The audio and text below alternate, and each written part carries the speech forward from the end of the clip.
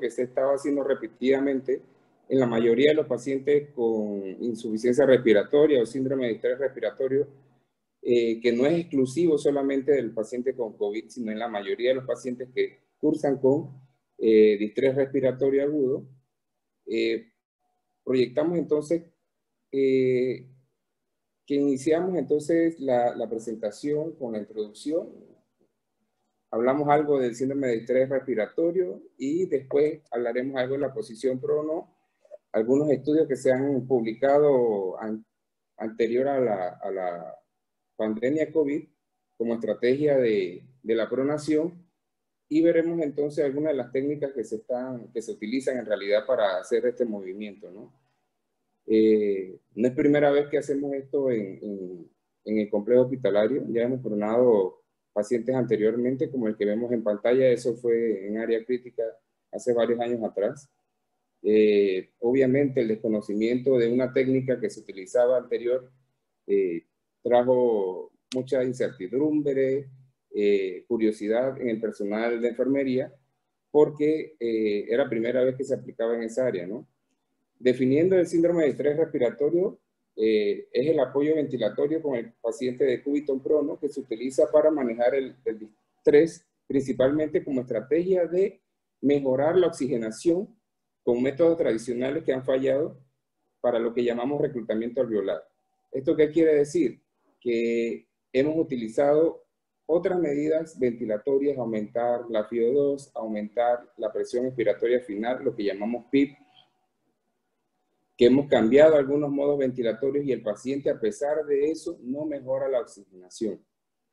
Entonces allí es donde introducimos eh, la posición prono para mejorar el reclutamiento alveolar en estos pacientes.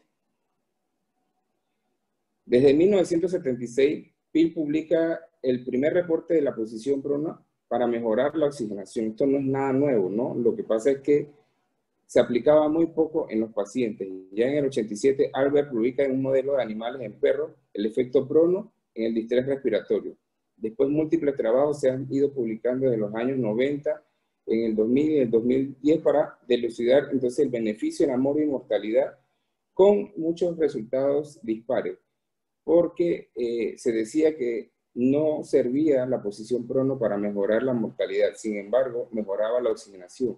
La mortalidad en los pacientes con distrés respiratorio es multifactorial, empeoramiento de las infecciones, eh, el aumento entonces de complicaciones posteriores al aumento de presiones altas en la vía aérea, y eso contrae entonces que eh, no haya estudios que digan que necesariamente se beneficia la mortalidad en el paciente en posición prono.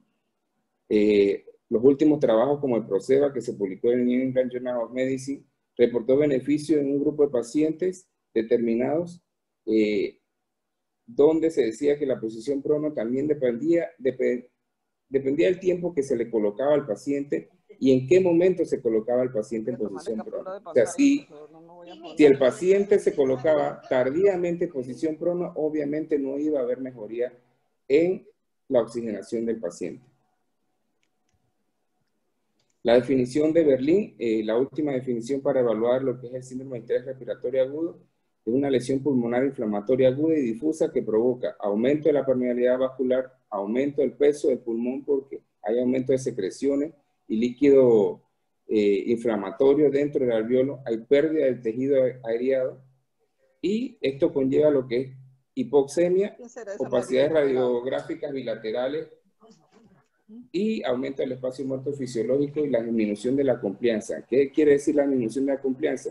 Que el estiramiento con el que hace el pulmón normalmente se convierte en un pulmón rígido. Entonces, al estar rígido, la oxigenación o la caja torácica no se oxigena adecuadamente. Y esto obviamente lleva característica morfológica de un daño alveolar difuso. Eh, hay mayor incidencia en los, pacientes del hemisferio norte. 10 a 15% de los pacientes son, que cursan con distrés son ingresados a una unidad de cuidados intensivos. El 80% de los pacientes requieren de ventilación mecánica y hay una incidencia de un índice de Kirby menor de 300 en por lo menos 86 por cada 10.000 habitantes por año y menor de 264 por cada 10.000 habitantes por año. La mortalidad aumenta, obviamente, con la edad del paciente, obviamente por las comorbilidades que eh, tiene el paciente que no son de beneficio para mejorar lo que es la mecánica ventilatoria y el estado inflamatorio. Dentro de la fisiopatología hay una descamación del epitelio bronquial, hay formación de la membrana hialina, hay macrófagos que viajan hacia adentro del alveolo y esto conduce a mayor eh, lesión por citoquinas dentro de la membrana alveolar y hay migración de neutrófilos. Como vemos en la pantalla, eh, esto aquí hay aumento entonces de los neutrófilos que van a provocar aumento de las citoquinas, aumento de las interleucinas, como vemos aquí, interleucina 6, interleucina 10, factor de necrosis tumoral alfa, y esto va a lesionar la pared del alveolo, disminuyendo lo que es el intercambio de oxígeno eh, del alveolo hacia el capilar, promoviendo entonces aumento de mayor fibrosis a nivel capilar, por eso que nosotros debemos estar anuentes de que estas lesiones van a conllevar a un pulmón más rígido. Hay proliferación de los neumocitos tipo 2, o sea, los neumocitos característicos de la membrana alveolar, van a aumentar más y va mayor reabsorción de líquido, o sea, edema saliendo de los canales de calcio y sodio y mayor acuaporina dentro del alveolo. Entonces, ¿esto qué va a conllevar?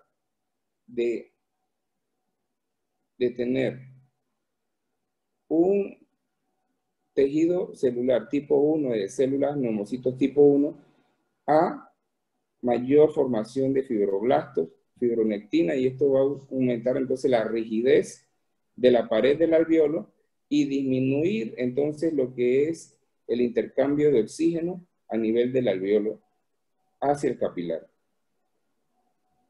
Cuando hablamos de la ventilación prono, hay múltiples estudios desde 1977, donde se mejora la oxigenación en pacientes con distrés agudo en la posición prono. Hay protocolos incluso de pronar cada cuatro horas con aumento significativo de la oxigenación.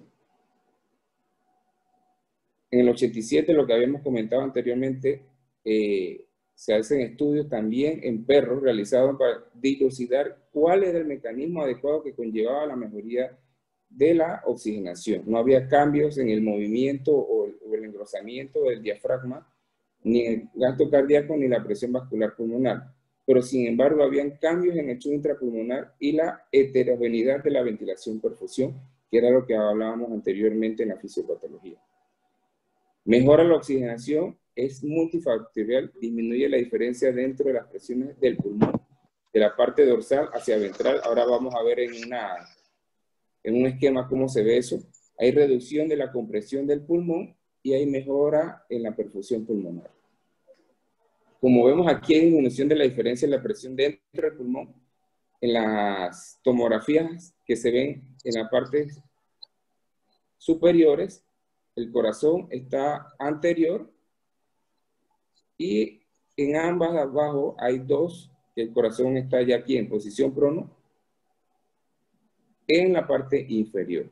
Entonces, esto conlleva que el pulmón sea más homogéneo a la hora de ventilarse, disminuyendo la sobredilatación de un alveolo ventral y disminuyendo el colapso alveolar dorsal. Entonces, se reduce el tamaño del alveolo dañado, sobredistendiendo por las atelectasias. Las atelectasias son estas manchas blancas que vemos en la parte posterior.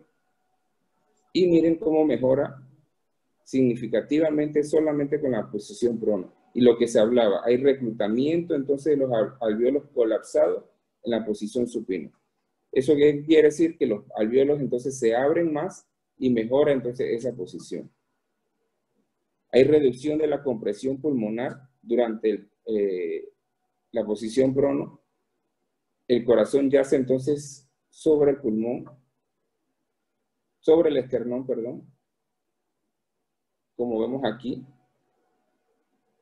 Descansa la parte pulmonar posterior y el corazón también. Esto permite entonces que haya un desplazamiento adecuado del pulmón dentro de la caja torácica, porque no tenemos un abdomen que soporte entonces esa disminución de la caja torácica. Si está en posición supino, ¿Qué sucede? Que el diafragma se ve empujado sobre la caja torácica por los órganos intraabdominales. Sin embargo, en posición prono, hay una suspensión entonces de esos órganos y permite que el diafragma se pueda mover libremente hacia abajo, permitiendo que haya mayor aireación sobre el pulmón.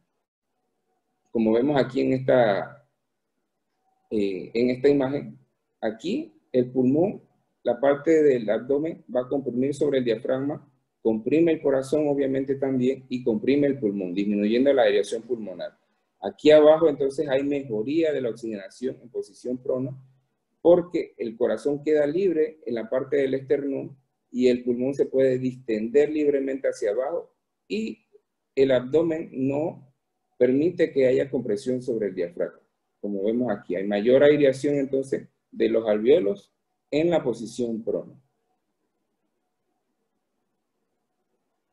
Hay mejoría entonces en la perfusión del pulmón, mejorando lo que es la relación de la ventilación-perfusión, que es lo que hablábamos, si un alveolo está ocupado eh, por líquido, eh, material ceroso, macrófagos, eso disminuye lo que es el intercambio de oxígeno a nivel de la pared alveolo capilar.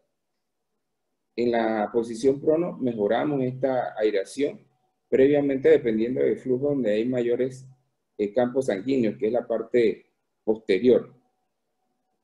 Al corazón estar descansando también sobre una posición y disminuyendo lo que es la vasoconstricción hipóxica al pulmón, aumenta el gasto cardíaco. Estos pacientes vemos que usan o utilizan menos vasopresores en el momento en que son colocados en posición prono. Como vemos aquí, en la posición prono, las, lo que es blanco, aquí que vemos los puntos blancos, son aireación normal pobre aireado los celestes y los más azules los no aireados.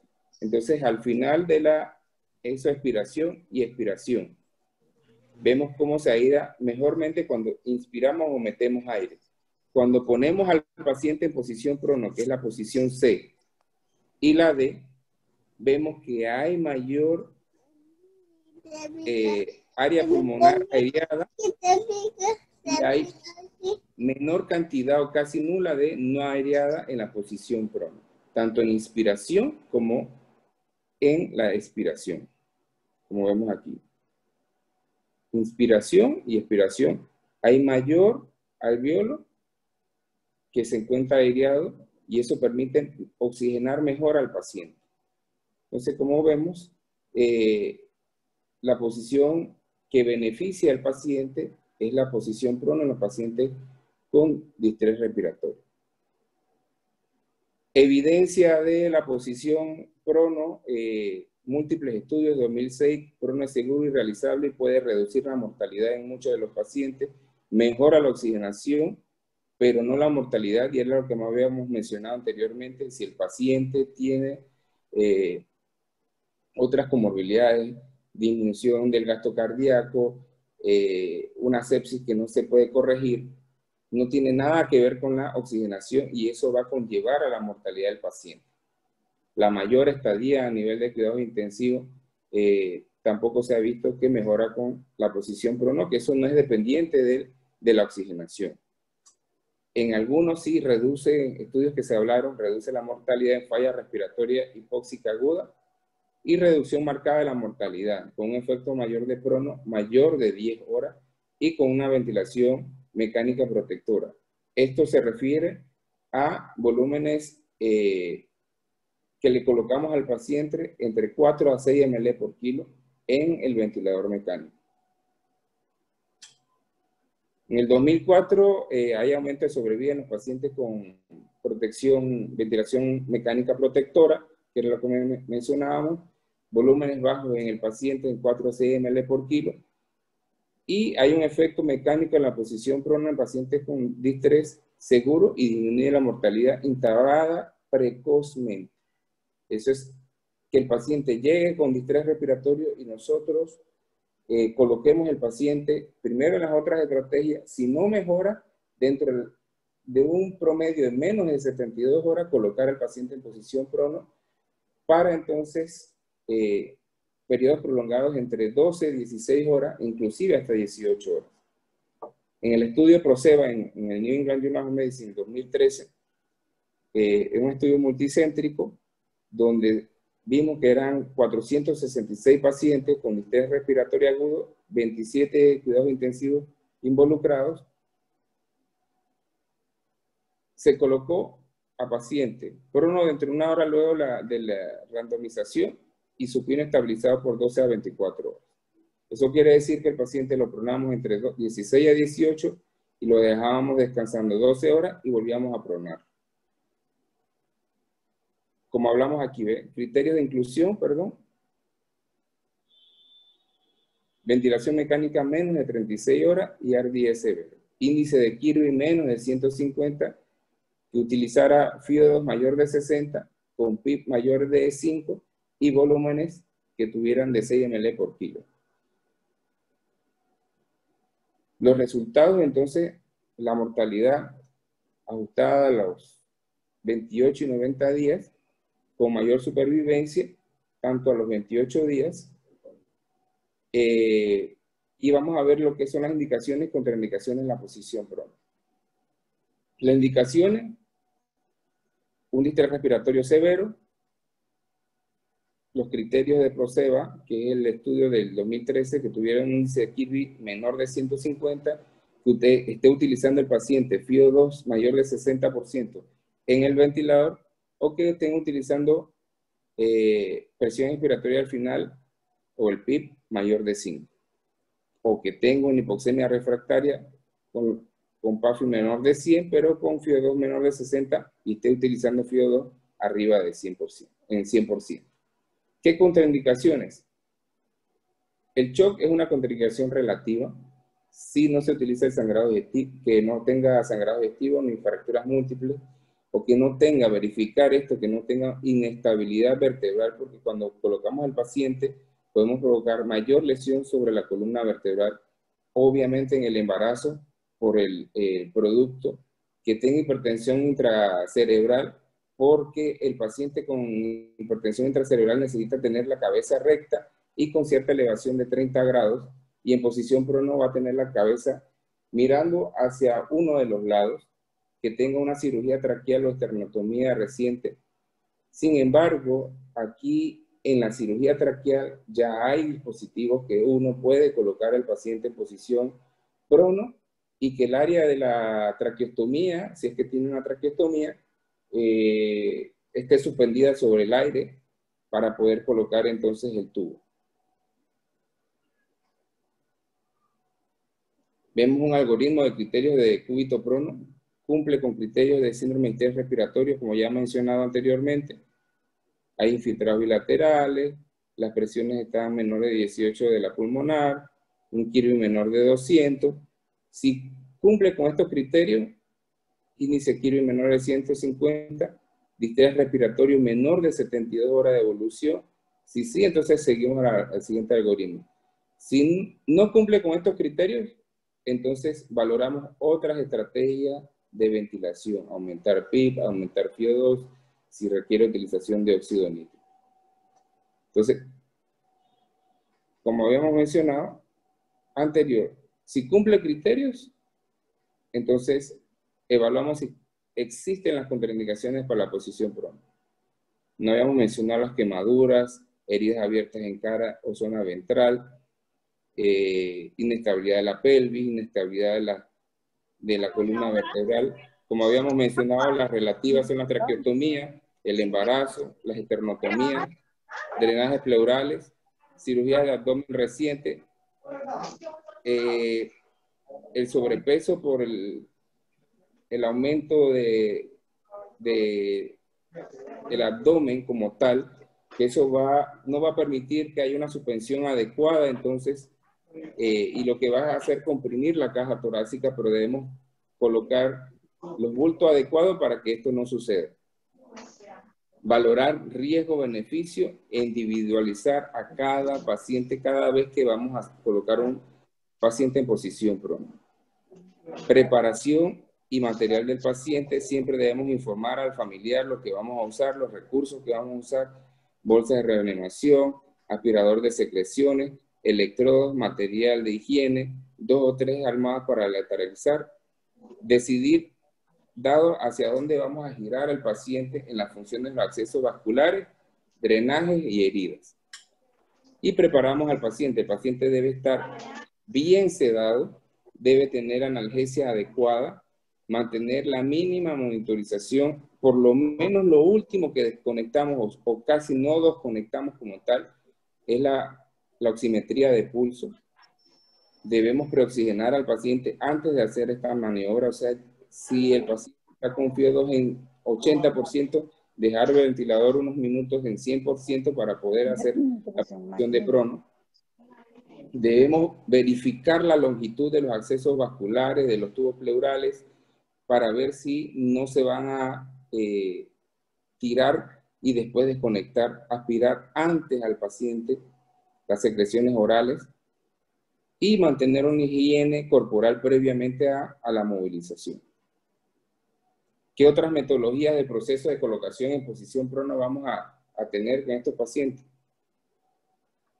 Primer procedimiento, lo de giro de la, de la cabeza, para dónde vamos a girar el equipo estándar, siempre debe haber un líder en, la monitorización o quién es el que va a decidir cuándo se va a mover el paciente, hacia qué lado se va a mover el paciente. El proceso debe ser sincronizado y secuencial. Debemos acomodar al paciente como vemos aquí, centrar y alinear el cuerpo eh, para finalizar el higiene dorsal, protección de las áreas eh, con cremas hidratantes, bajar la cabeza, el paciente debe estar lo mayormente plano. Debemos corroborar de que el paciente no dejarle ningún electrodo en la posición anterior, porque esto puede marcar, incluso producir eh, quemaduras por, por, fricción. Debemos eh, desconectar todos los dispositivos eh, que no sean útiles o los, o los sedantes o los medicamentos que no son útiles en el momento para tener menor cantidad de eh, medicación conectada al paciente. Comprobar siempre la fijación del tubo endotraqueal para el que va a estar en la cabecera, que debe ser el terapista respiratorio. Siempre debe haber un terapista respiratorio que nos ayude a la posición o sostener el, el tubo endotraqueal. Como vemos aquí, giramos el paciente hacia la izquierda y lo rotamos hacia la derecha. Eh, hay múltiples formas de hacerlo. Otros se colocan con sábanas que se envuelven sobre el paciente para eh, no volver a girar y volver a vestir la cama. Hay criterios de intolerancia entonces de, la posición prono, como la desadaptación en el ventilador mecánico, que el paciente empeore la hipoxia, que haya inestabilidad hemodinámica, que aumente la frecuencia o se ponga bradicárdico. Entonces, en este momento hay que volver a colocarlo en, en supino como ya habíamos monitorizado que las enfermeras deben monitorizar eh, toda esta parte, siempre asegurarnos en la parte facial conjuntival que la posición prono va a aumentar lo que es el edema sobre la cara por posición. El paciente va a estar boca abajo, va a haber aumento del edema conjuntival, palpebral y debemos, después de haber rotado al paciente en posición prono, tomar una gasometría control por lo menos entre 30 minutos a una hora para verificar que este paciente haya mejorado discretamente su oxigenación. Verificar lo que es la postura final de la cabeza, ver las complicaciones durante el procedimiento, complicaciones durante el periodo de pronación ¿Qué implementos o dispositivos vamos a utilizar o mantener durante la maniobra de pronación? Hay múltiples dispositivos en el mercado, ojalá tuviéramos este, eh, porque esto, si el paciente es obeso o la embarazada, pueden tener esta, esta posición para tener, eh, se le colocan las almohadillas. Lamentablemente tenemos que hacer almohadillas artesanales como la vemos, la que vemos aquí sobre la cara, siempre verificar que el espacio que queda aquí es para que la oreja no quede sobre eh, la cama y provocar úlceras, porque recordando que por lo menos dos horas del paciente estar en una misma posición van a tener úlceras eh, sobre el lado que está sobre la compresión. Y verificar entonces aquí que el tubo no quede acodado y meta menos volumen el paciente. Siempre tener almohadillas sobre las áreas de eh, compresión, almohadillas sobre la cara. No es necesario muchas veces hacer un rollito, simplemente que la oreja quede suspendida y que la cara quede posicionada como si fuera una almohada.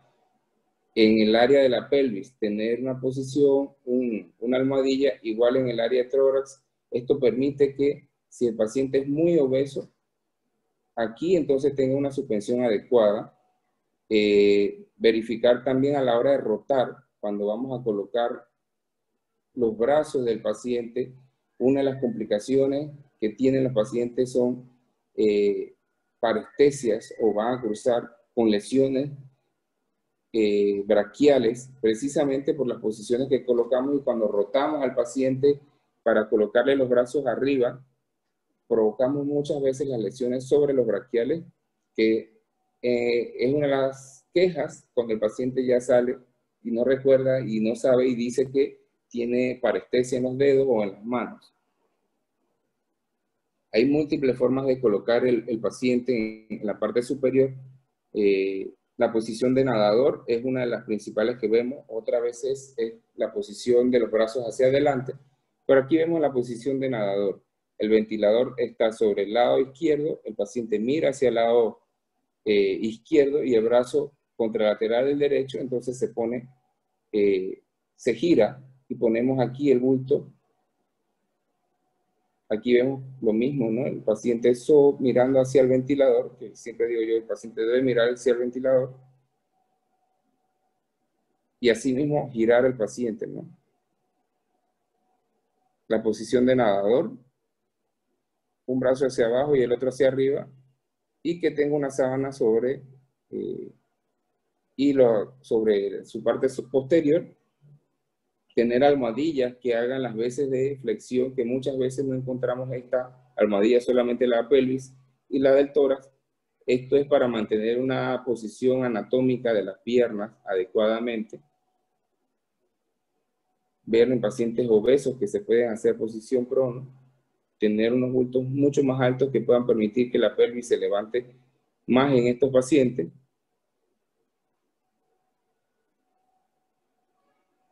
Y aquí es lo que vemos, ¿no? Aquí eh, este paciente no cabe primero en la cama. Segundo, tiene elevación entonces de este hombro que probablemente vaya a provocar una lesión sobre el braquial del brazo derecho. Tiene demasiado comprimido el brazo izquierdo que también puede hacer parestesia sobre los dedos, comprimiendo entonces el plexo de este área braquial también y vemos que el tubo está, el ventilador está hacia la izquierda y él está mirando hacia la derecha. Probablemente el tubo está mal acomodado y esas son cosas que debemos verificar porque esa es parte de la anatomía, eh, cómo se ubica el paciente dentro de la cama. Aquí como nos fijamos, hay múltiples posiciones con los brazos hacia arriba, un brazo hacia arriba y el otro hacia abajo, mirando independientemente hacia abajo o hacia el lateral, o con las caderas rotadas para tener algo de movimiento. Siempre recordar las almohadillas, tanto en el área de los tobillos, en la pelvis y en el tórax, y una almohadilla sobre la cabeza, tratar de que esta cabeza quede recta y no, no hiperextendida hacia arriba, porque también puede provocar lesiones sobre el área cervical. Como vemos, ya se ha promulgado mucho que es una técnica que salva vidas. Posición con los brazos hacia arriba, que eso no es ninguna contraindicación. Eh, mencionábamos anteriormente que hay múltiples formas con ambos brazos o en posición eh, de nadador, tanto como un brazo para un lado como para el otro.